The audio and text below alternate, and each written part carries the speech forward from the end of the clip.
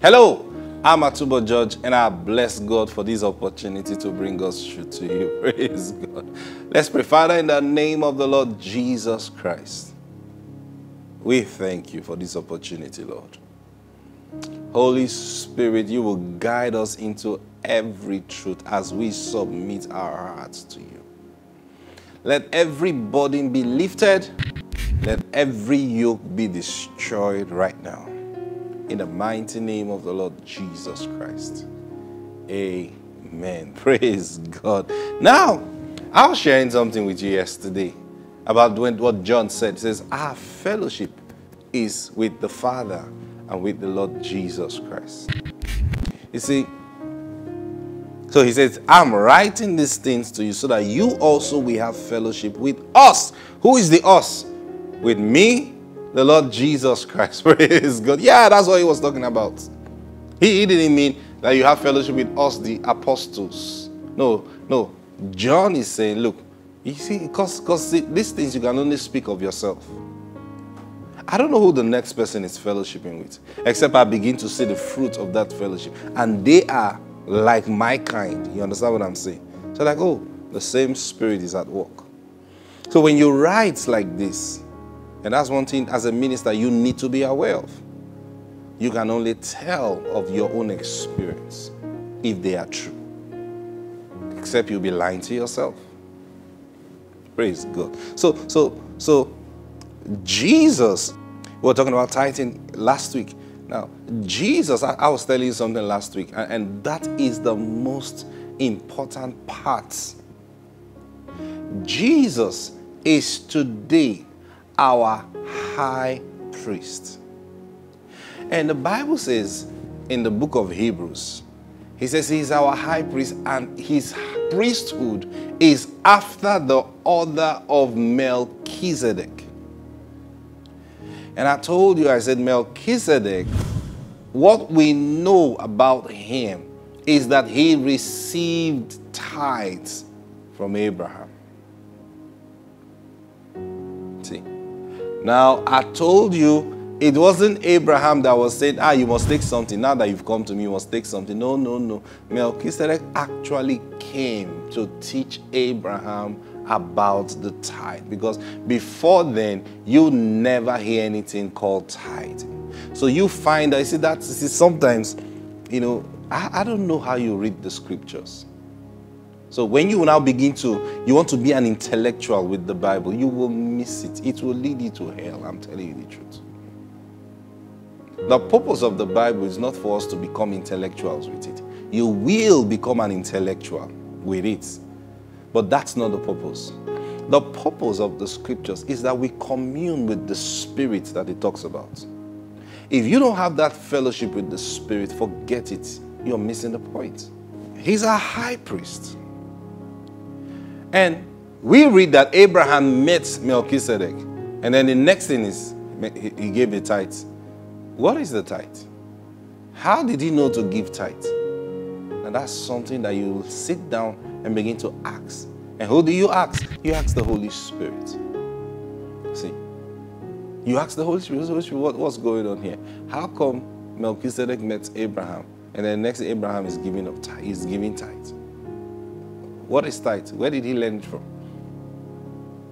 Then you begin to realize from the Spirit of God that was exactly what Melchizedek came to teach Abraham.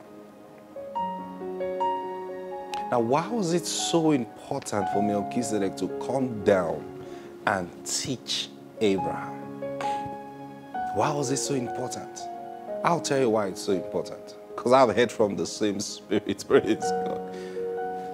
It is so important to tithe because tithing is connected to the root of God's blessing, especially here on earth. I'm telling the truth. Tithing is connected to the root of God's blessing on the earth. If you don't tithe, you know, let me, let me, let me share this with you. a few, a few years ago, you know, Daddy Adeboye made a statement. And some people, even some pastors, went wild. he said, anybody who doesn't tithe will not make heaven. And you know, the scholastic teachers, those who love the law, who I mean when I mean the law, the later, they they they they went ballistic. How can he say that? How can how can you say tithing qualifies, it's tithing that qualifies you? Now he didn't say, you know, some you see, I've learned something over the years. When an old man speaks, you don't respond quickly. You don't jump to conclusion with his word. Now that is just simple wisdom. When an old man speaks, you take time to look at his words, analyze it. Sometimes you need to give it some time. You see, because there are certain things you may experience. Now, this has happened to many of you. You see, maybe your, your, your, your dad or your mom told you certain things. You know, you wanted to do something, and your dad said, see this thing. After a few years, you'll be tired of it. Say, no way, no way, no way. How can you say I'll be tired of it? You're trying to stop me from doing what I want to do. You know, and you continue like that. And then time goes by. And then it goes. Then he said, why am I not interested in this thing anymore? But I was serious about this thing before. And then you remember the words of your father or an elder. Ah, this person told me, Kai, man, I, I didn't believe it then. But I think now I understand. See, you understand what I'm saying? It happens to us a lot of times. So when an old man speaks, keep quiet. Because most times, as men grow old, their words become few, especially wise men. I mean, what I mean wise men, men who have mingled themselves with the Lord. Now, this is not just about age, experience also. A man who have really, because a man can be old in age and lack no experience with God. You understand what I'm saying? So it doesn't mean anything he says is wise. He will still have some measure of wisdom in life. He may have some measure of wisdom in the bad things. I don't know if you understand what I mean. Maybe not with God, but but you see, he still has some measure. But we are talking about truth now, wisdom based on truth. When it, an experienced man gives a statement, well, you know, you know that's just how the Lord is really. I, I don't know. You see, this thing we talk about God is a relationship. I, I, I you know, I, I can tell you numerous times the Lord will just throw a statement at me and I will struggle with that state. Now, when I mean struggle, not that I'm arguing with him. I like, uh-uh, nah, but, but, but, but, but, but, then I'll calm down. Now, sometimes it can take me over a year to come to that conclusion. Lord, you were right. That statement you made, were right. And then guess what? I'll now make the same statement to someone else. Ah, no, how can you say that? No. And I'll just relax and I'll be watching you will grow. you will come to that place of understanding also. So when that Adeboye made that statement that people who don't tithe will not make heaven. You know, I now I never thought of it like that. Of course, I have always believed in tithing. And I believe in tithing because the Lord taught me uh, concerning tithing. So my, my understanding of tithing is not because I read it in the Bible or anybody preached it to me. I waited on the Lord. That's what I do with several things I teach. I wait on the Lord. I will wait. That, that's what we do when we pray. I don't understand. You know, what, what are you praying for? See, life issues will get you to the place of prayer. But when you pray, why would, do we spend hours in prayer? You know, Shaka, let God hear my voice and let this thing change. No, Lord, what's your mind concerning this? Lord, you've not spoken to me yet. Because I was thinking of this like this, but something is not just connecting. So, Father, you pray and pray and pray two hours, three hours. He said nothing to you concerning it. You you have other things to do. You say, okay, let me go do that. You come back, and then you're in the presence. You, you open your Bible, you're looking for answers. You shako, my Holy Spirit, open. My, and then when He comes, oh, you want to tell Him, Lord, please stop. Let us hold on. I'm telling the truth. Those that have this experience know what I'm talking about. You know, so I, I received the teaching of, of, of from him like that. So when Daddy Adeboye made that statement, I went before the Lord. I said, Lord, isn't this going too far? You know, I like, isn't this going too far? And then I'll tell you exactly what the Lord said. He said, son, you studied mathematics. You know, you, you, you did some, some measure of mathematics in school. I said, yes.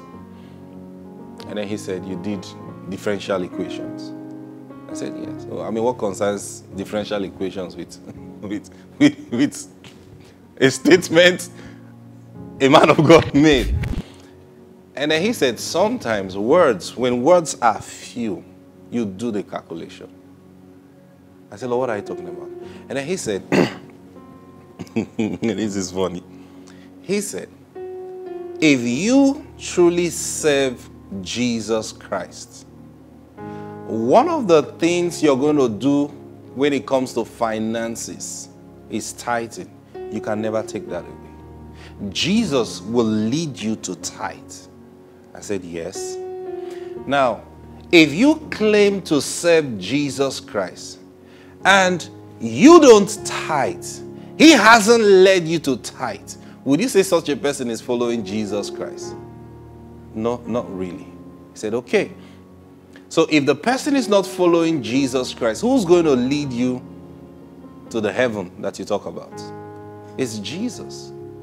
So Jesus doesn't lead you to tithe, but he leads people who follow him to tithe. So there's a question that this person is really, is he following Jesus Christ? No matter what he claims to be, or claims to have, or claims to do. If he's not a follower of Jesus Christ, he won't make heaven. I said, My Lord and my God.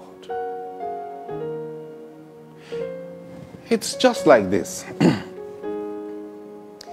if you have never heard the voice of God in your life, you cannot say you've heard the voice your, of God in your life. And you are believing that you will go to heaven with the rapture. How is it going to happen? See, see what I'm saying?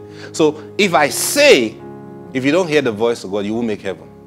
Someone said, What are you trying to say? Yeah, but it's the truth. Because the sound of the rapture is going to be by his voice.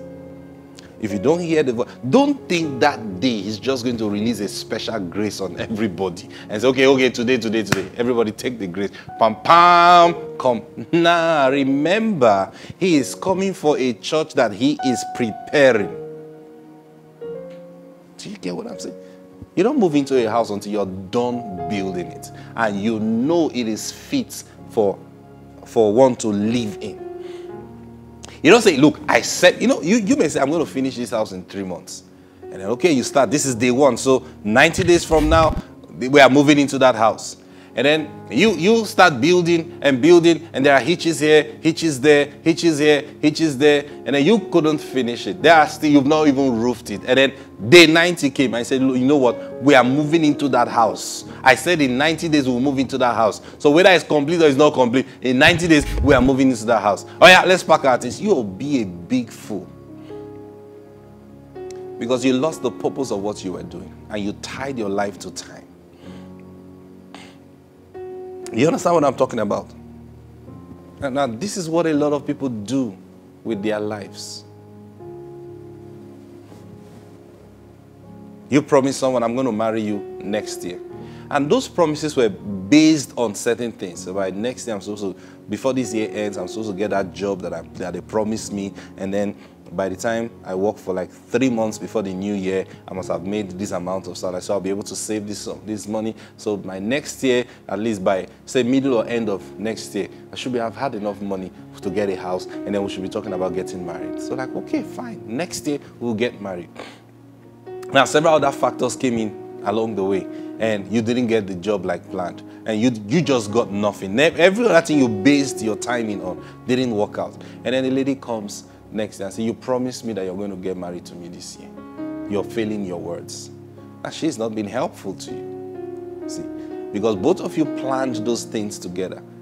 You're not supposed to be using the time to check. You're supposed to be using the details, those details to check. You've not gotten the job. That means these plans for next day, is this still going to work? There must be another plan if that timing must work. Are you getting what I'm saying to you? Thank you, Holy Spirit. That's why Jesus didn't tell us a time when He's coming. Why? Because His coming is dependent on our preparation. So, our willingness to submit to Him is what will determine how soon He's going to come. Praise God. Ah, I, you know, lots of wisdom. Hmm. We'll continue tomorrow. Bye bye.